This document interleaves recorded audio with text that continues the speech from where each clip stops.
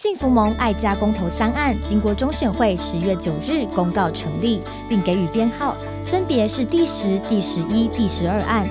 在距离年底大选还有四十天之际，幸福盟面对五百万张同意票门槛的压力，呼吁爱家公民伙伴站出来，一起实践直接民权。再一次的感谢所有的呃民众、职工支持我们。当然，最大的挑战是年底的五百万。票同意票，我们希望所有人继续支持，延续这个热情啊！一个人至少拿二十票啊！摆摊扫街，一起走出去，影响更多的人。人民的自觉是很重要的啊！唯有我们勇敢站出来表达我们自己的意见，才能够让整个政府的决策能够走在民意所期待的方向。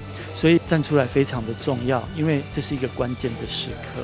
因为我们的每一票，我们的每一个跟乡亲的接触，都可以唤醒他们对这个议题的了解。长期关注家庭议题的台湾教会界，对于这次爱家公投三案也进行总动员，并且分享了扫街摆摊的成功经验。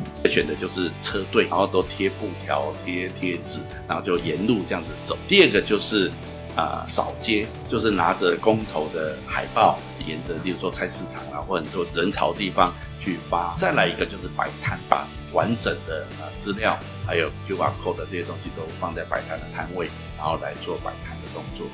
十月二十号，我们会发动一次全台湾、全国的大摆摊，我们通通出来，走出教会的四面围墙，向这个世代、向这个社区、向我们脚掌所踏之地，为主来发声。